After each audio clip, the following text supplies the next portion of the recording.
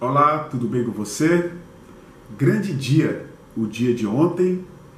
Vocês acompanharam aqui no nosso canal, na grande imprensa, na velha imprensa e também nos canais chamados canais progressistas. Ontem o Queiroz foi preso.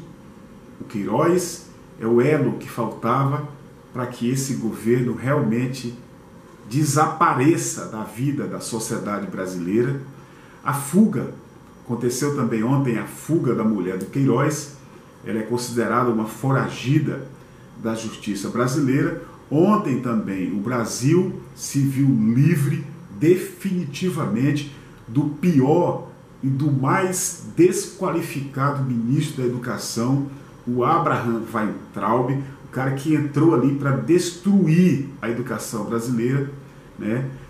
Grande dia o dia de ontem. Jornal Nacional da Globo, segundo eu já li aqui, ficou praticamente todo o tempo falando do governo Bolsonaro, que é um governo que vocês sabem, já ouviram aqui no canal e já leram em algum lugar, é um governo de milicianos.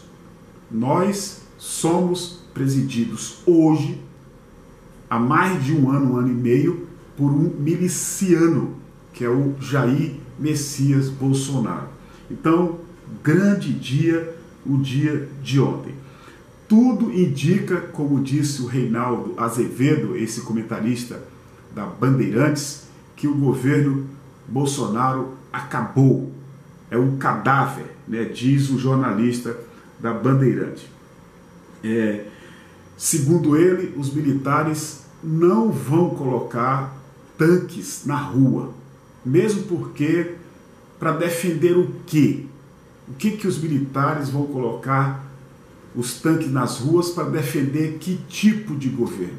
Para defender um governo de milicianos, um governo ligado umbilicalmente, como gostamos de falar aqui, com o que há de pior, com a escória, com o que há de pior, de mais violento do crime organizado do Brasil.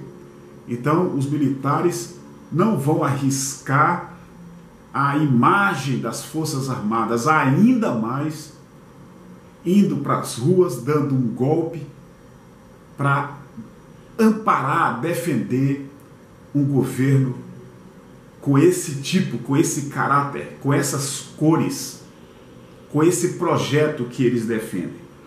Tá certo? Então o quadro foi montado, a última peça que faltava era a prisão do Queiroz, agora falta ele falar.